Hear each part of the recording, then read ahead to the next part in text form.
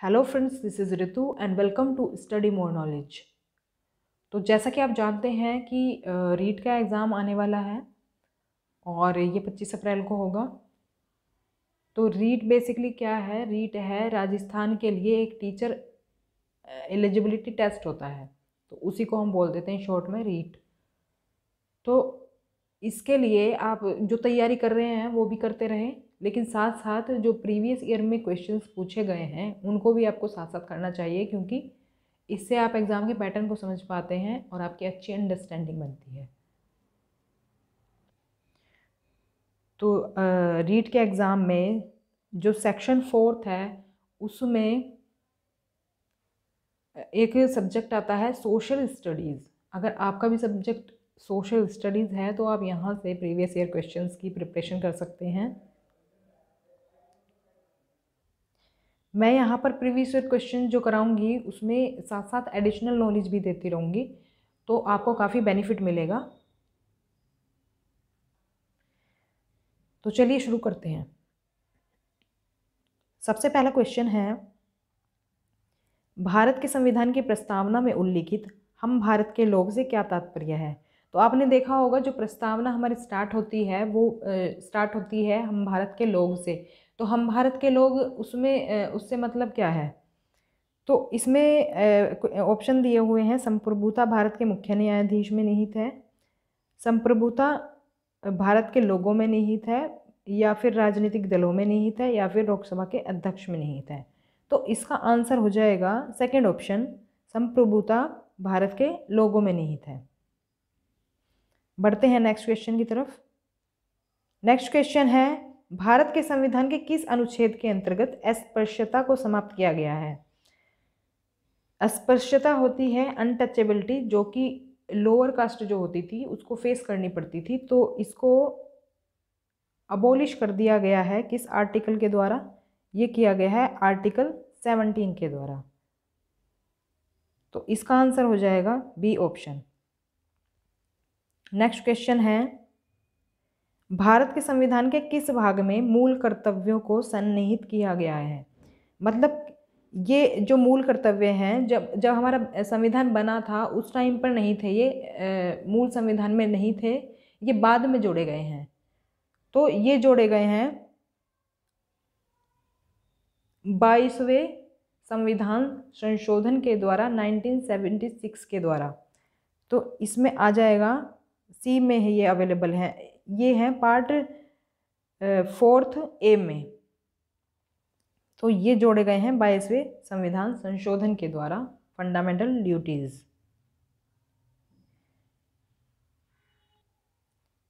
Next question है, भारतीय संविधान का अनुच्छेद 25 संबंधित है।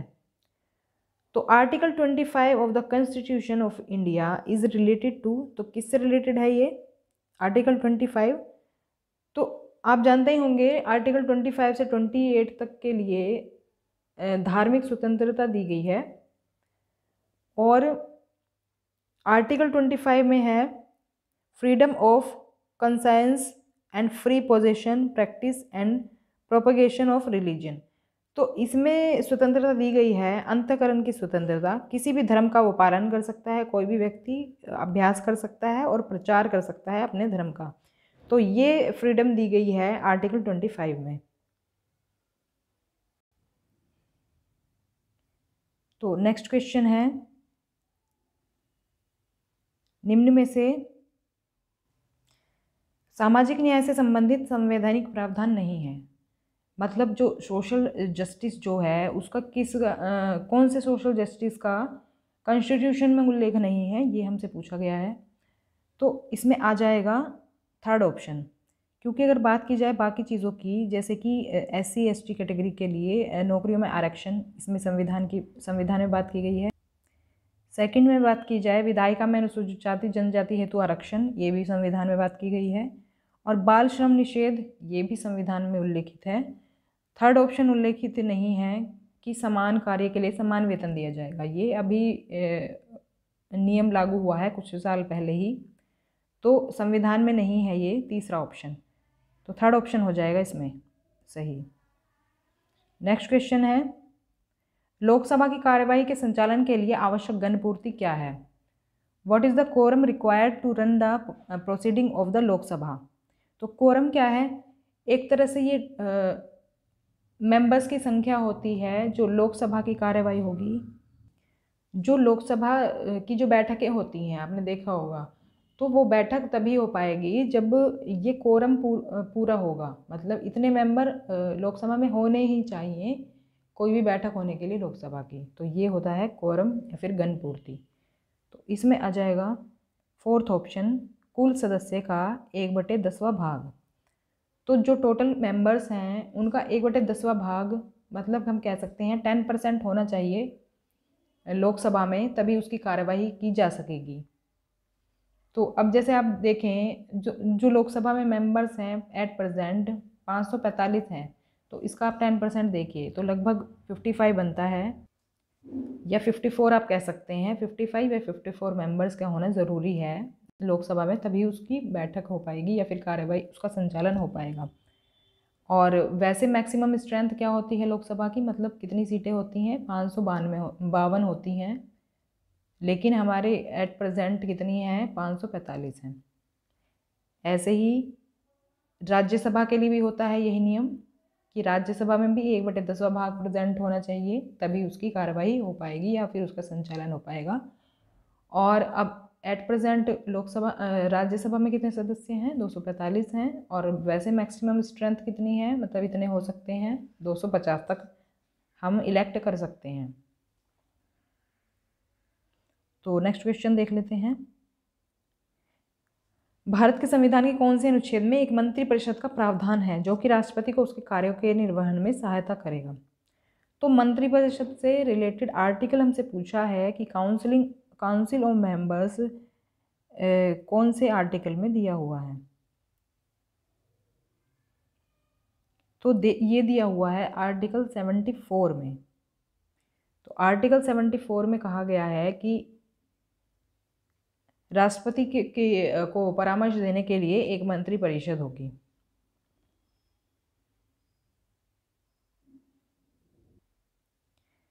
तो नेक्स्ट क्वेश्चन है राज्य के चुनाव आयुक्त को कौन नियुक्त करता है? Who appoints the state election commissioner तो इलेक्शन कमिश्नर वो होता है जो इलेक्शन से रिलेटेड जो चीज़ें हैं उनका ध्यान रखता है और ये होता है मतलब चीफ कह सकते हैं एक तरह से। इलेक्शंस का होता है ये चीफ तो हमसे पूछा गया है state election commissioner chief election commissioner नहीं पूछा गया है चीफ होता है जो पूरे देश का होता है। स्टेट इलेक्शन कमीशन कमिश्नर होता है, उसी स्टेट का, एक पर्टिकुलर स्टेट का कमिश्नर होता है वो। तो इसको अपॉइंट करते हैं संबंधित राज्य का राज्यपाल मतलब जिस स्टेट का बोलेंगे हम, उसी स्टेट का वो राज्यपाल होता है जो उसे अपॉइंट करता है। तो अलग अलग राज्यों में अलग अलग राज्यपाल अपॉइंट करते हैं इसे। और चीफ इलेक्शन कमिश्नर की बात की जाए, जो जो ये फ़र्स्ट ऑप्शन में दिया हुआ है, इसकी अगर बात की जाए तो इसको अपॉइंट करते हैं भारत के राष्ट्रपति। क्योंकि राष्ट्रपति की जैसा ही रोल होता है राज्यपाल का तो स्टेट में अगर कोई राष्ट्रपति के जैसा काम होगा तो वो राज्यपाल करते हैं स्टेट में। जो केंद्र में काम राष्ट्रपति करते हैं, वही काम राज्य में राज्य के राज्यपाल करते हैं। तो इसका ऑप्शन हो जाएगा सी भारत के सर्वोच्च सर्वोच्च न्यायालय के संबंध में निम्न में से कौन सा कथन सही नहीं है? तो सुप्रीम कोर्ट के बारे में कौन सा कथन इसमें सही नहीं है? इसमें हो जाएगा सेकंड ऑप्शन राष्ट्रपति द्वारा मांगे जाने पर सर्वोच्च न्यायालय उन्हें परामर्श देने हेतु बाध्य है। तो ऐसा नहीं है। सर्वोच्च न्यायालय बाध्य नहीं है। सर्वोच्च न्यायालय से राष्ट्रपति परामर्श मांग सकता है। ये सही है। और राष्ट्रपति की, को परामर्श देने के लिए सर्वोच्च न्यायालय बाध्य नहीं है। ये भी बिल्कुल सही है और लास्ट वाला भी सही है। तो सही कौन सा नहीं है? सेकंड ऑप्शन और हमसे नॉट करेक्ट ही पूछा है। तो सेकंड ऑप्शन इसमें आंसर होगा। भारत के राष्ट्रपति के चुनाव के निर्वाचक मंडल में शामिल हैं। जो राष्ट्रपति का चुनाव करते हैं, उसके लिए एक इलेक्ट्रोल इलेक्टोरल कॉलेज होता है, निर्वाचक मंडल होता है तो उसमें कुछ सदस्य शामिल नहीं होते हैं और कुछ होते हैं तो हमें उसी के बारे में बताना है। इसमें क्योंकि हमसे पूछा है, कौन शामिल नहीं होते हैं?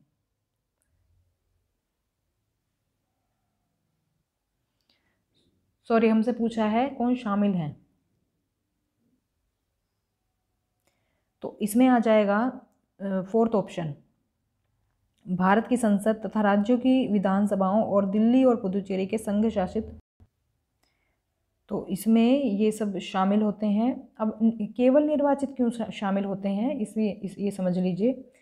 निर्वाचित सदस्य ही शामिल होते हैं, बाकी होते हैं नॉमिनेटेड आपको पता ही होगा, लोकसभा और राज्यसभा में राष्ट्रपति कुछ मेंबर्स को नॉमिनेट करते हैं। तो वो जो नॉमिनेट करते हैं, वो नॉमिनेटेड मेंबर्स इसमें पार्ट नहीं लेते हैं। तो सिर्फ़ निर्वाचित जो मेंबर्स होते हैं वो ही पार्ट लेते हैं जो इलेक्टेड मेंबर्स होते हैं। तो ये बात ध्यान रखनी है तो फोर्थ ऑप्शन इसमें करेक्ट हो जाएगा। Longest river of Asia is Asia की सबसे लंबी नदी कौन सी है? तो एशिया की सबसे लंबी नदी है यांग तो ये हो जाएगी ये हो जाएगा थर्ड ऑप्शन ये चाइना में बहती है। नेक्स्ट क्वेश्चन है, किलिमंजारो पर्वत किस देश में अवस्थित है? Kilimanjaro mountain lies in which country तो किलिमंजारो स्थित है तंजानिया में। अफ्रीका का अगर मैप देखें, ऐसे ही ड्राफ्ट के तौर पर, अफ्रीका का मैप देखेंगे आप तो लगभग यहाँ पर पड़े, पड़ेगा ये किलिमंजारो। तंजानिया सॉरी तंजानिया यहाँ पर पड़ेगा और इसी में स्थित है किलिमंजारो पर्वत। नेक्स्ट क्वेश्चन देख लेते हैं। समताप सीमा पर औसत तापमान रहता है। तो जो सम, समताप सीमा होती है, वहाँ पर औसत तापमान क्या रहता है? तो पहले तो आप देख लीजिए, ये स्ट्रेटो, पोज के बारे में हमसे पूछा है। स्ट्रेटो, पोज कहाँ पर होता है? तो स्ट्रेटोफोर्स के बारे में जान लेते हैं। देखिए, आपको पता होगा जो पृथ्वी पर हैं, कुछ लेयर्स हैं। ये पाँच लेयर्स हैं, कुछ इस तरह से। तो जो सबसे पहली वाली लेयर है, उसे हम बोलते हैं क्षोभ मंडल और सेकंड को हम बोलते हैं समताप मंडल तो जो समताप मंडल है स्ट्रेटोस्फेयर है, उसकी जो बाउंड्री होती है, बाहरी जो बाउंड्री होती है, उसको हम कहते हैं स्ट्रेटोपोज तो यहीं का टेम्परेचर हमसे पूछा गया है तो यहाँ का टेम्परेचर एवरेज पूछा गया है।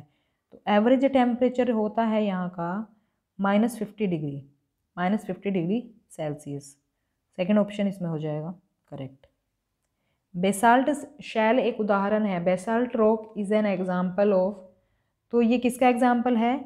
ये एग्ज़ाम्पल है एक्सट्रूसिव इग्नीरियस रॉक का। तो बाह्य आग्नेय शैल का ये एग्ज़ाम्पल है बेसाल्ट शैल। अब नेक्स्ट क्वेश्चन है, एक पोषण स्तर से दूसरे पोषण स्तर तक औसत ऊर्जा का प्रवाह होता है। The average energy flow from one trophic level to another is तो हमसे पूछा गया है, आपने अगर फ़ूड चेन पढ़ी होगी फ़ूड चेन आपने देखा है कि कुछ इस तरह से जैसे होती है तो इसमें कई सारे लेवल होते हैं?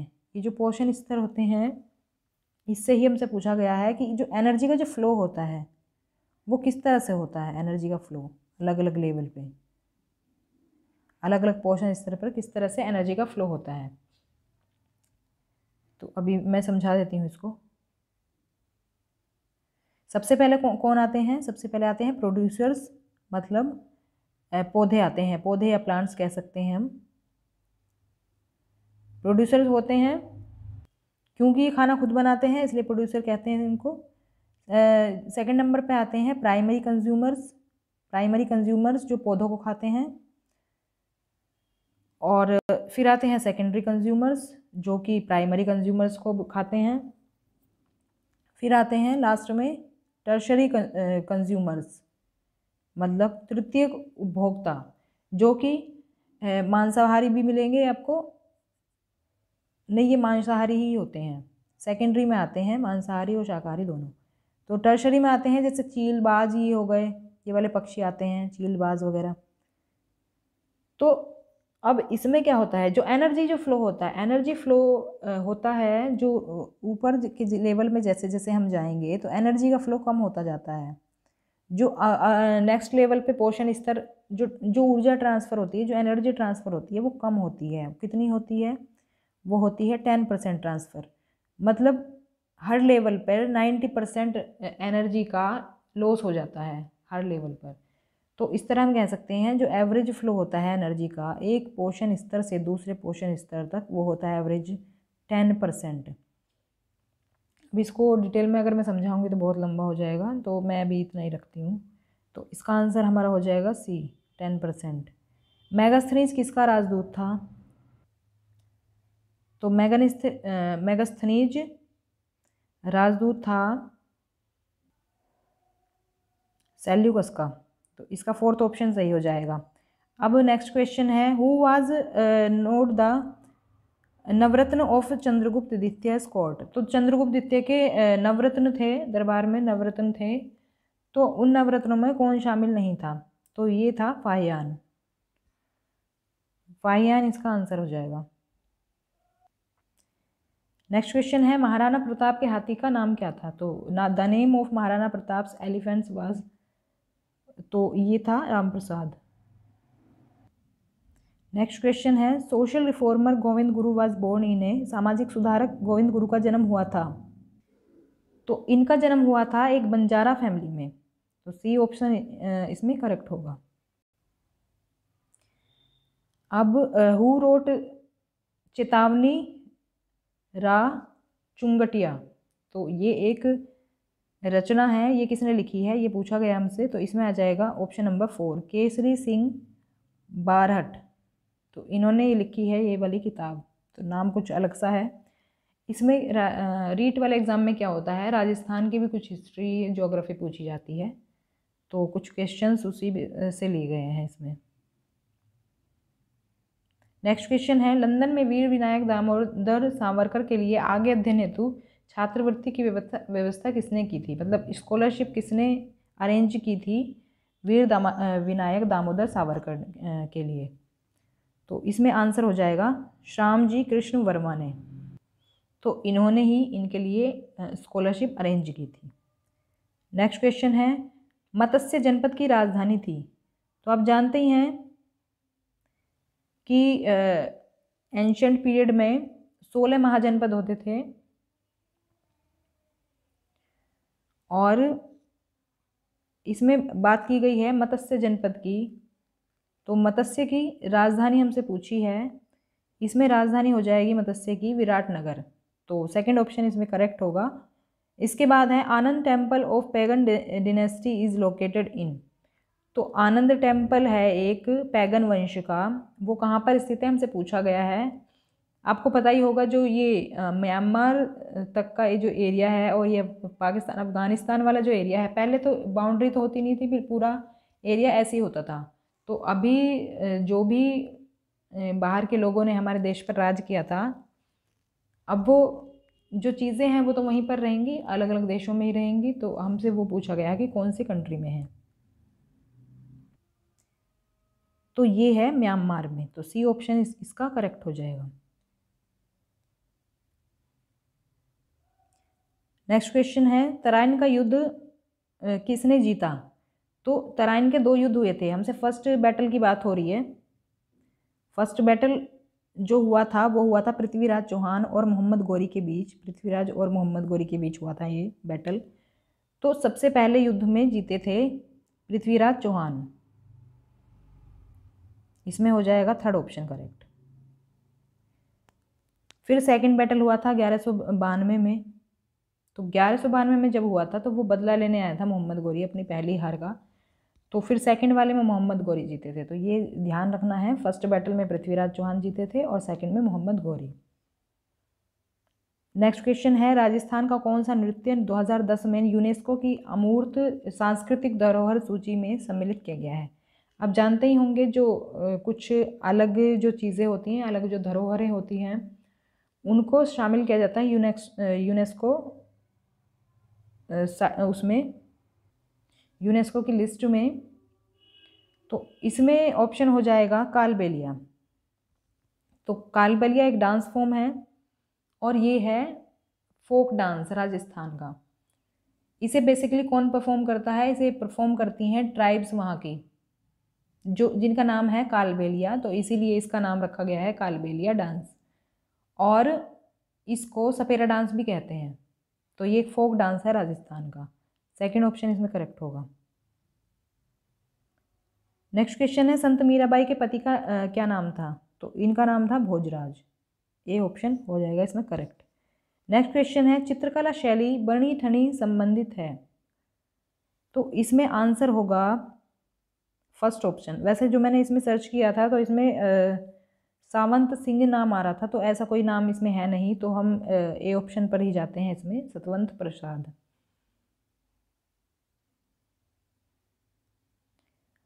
नेक्स्ट क्वेश्चन है चुरू ज़िले के ददरेवा ग्राम से संबंधित हैं। Who was related to Dadreva village of Churu district तो इससे संबंधित हैं गोगा जी। तो इसमें हो जाएगा बी ऑप्शन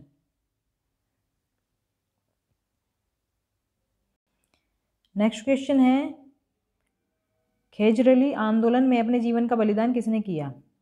तो ये ये किया था अमृता देवी ने, इसमें फोर्थ ऑप्शन करेक्ट होगा। नेक्स्ट क्वेश्चन है who wrote Vande Mataram in book Anand Math? तो आनंद मंठ में लिखा गया है वंदे मातरम, ये किसने लिखा था? ये लिखा था बंकिम चंद्र चटर्जी ने। तो जब स्वदेशी आंदोलन चला था तो उसमें भी ये गाया गया था वंदे मातरम। तो ये इसमें मैंने करा दिए हैं thirty questions two thousand seventy के रीट के पेपर के। बाकी के जो बच्चे थर्टी क्वेश्चंस हैं वो हम नेक्स्ट पार्ट में करेंगे। सो so, इनको आप अच्छे से याद कर लेना। मतलब याद भी करने की ज़रूरत नहीं है एक दो बार वीडियो को देखेंगे तो आप अच्छे से ये वाली क्वेश्चंस की एक्सप्लेनेशन तो आपको समझ में आ ही जाएगी। तो मिलते हैं नेक्स्ट पार्ट में इसी के। So thanks for watching